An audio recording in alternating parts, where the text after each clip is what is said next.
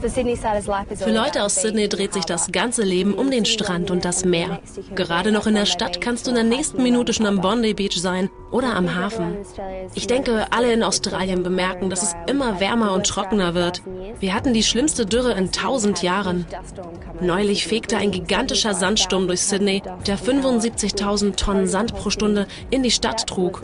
Das war eine Folge der Dürre, die ganze Landstriche ausgetrocknet hat. Durch Sturmwellen und den ansteigenden Meeresspiegel könnte selbst das Opernhaus beschädigt werden.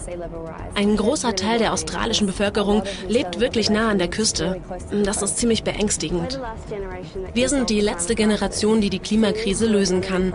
Nicht nur für uns selbst, sondern auch für meine Kinder und Enkelkinder. Sie sollen dasselbe Australien genießen können und das wunderschöne Sydney.